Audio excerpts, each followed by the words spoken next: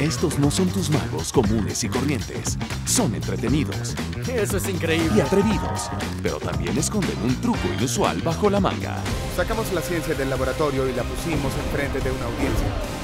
Y nos traerán una nueva temporada de Ciencia Mágica. Con trucos aún más arriesgados e increíbles que nunca. Ciencia Mágica, nueva temporada. Lunes 5 de mayo a las 9, solo en Discovery.